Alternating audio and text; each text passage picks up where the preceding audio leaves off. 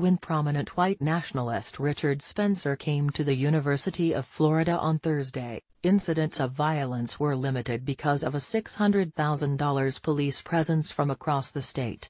What conflict did occur, pepper spraying, punching, chasing, was largely instigated by anti-fascist protesters. There were five minor injuries and two arrests, one for a Gainesville man charged with resisting arrest without violence and the other for a media member's security guard found with a pistol and a knife.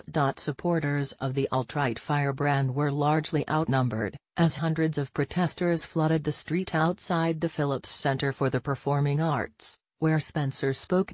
Spencer ended his speech half an hour early because protesters, who made up a majority of the 456 seats filled out of 700, screamed and chanted F, Spencer and Black Lives Matter throughout his speech.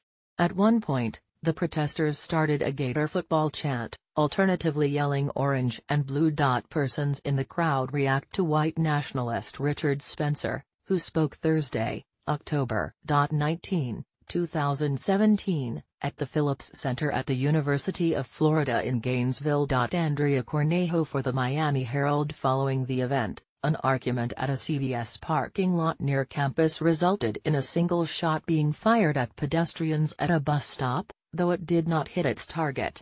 Although the details remain unclear, witnesses told police an average-looking white male exited a vehicle, shot at the group and fled. Gainesville police investigators do not know if the shooting was related to Thursday's events. There was a clear tension between those who wanted to fight hate with love and those who thought violence was the answer. For Trey Taylor, a 19-year-old Santa Fe College freshman, a confrontation with an alt-right supporter nearly escalated to violence. But he restrained himself, and simply asked, Why do you hate us? Violence shouldn't become an answer but it seems to become a response people come to, said Taylor, who is half black. No one needs to be hated, unless they're someone who preaches hate.